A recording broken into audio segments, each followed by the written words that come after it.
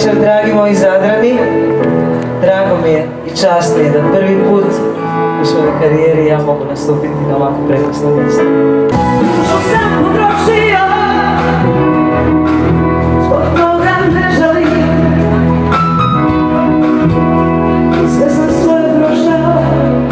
Moj prvi nastup na forumu i nadam se ne posljednji. Još sam mlada tako da ovaj, su svi koncerti na forumu predavnom. A, m, publika je ona koja je došla, je došla publika koja me voli, ja to cijenim.